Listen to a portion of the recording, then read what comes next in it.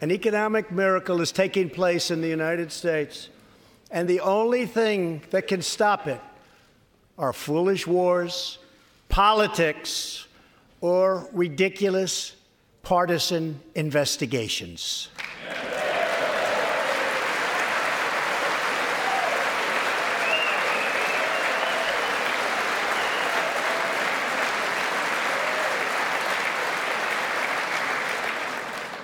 If there is going to be peace and legislation, there cannot be war and investigation.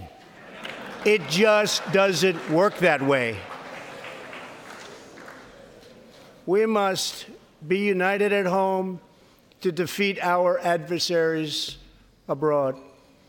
This new era of cooperation can start with finally confirming the more than 300 highly qualified nominees who are still stuck in the Senate, in some cases, years and years waiting.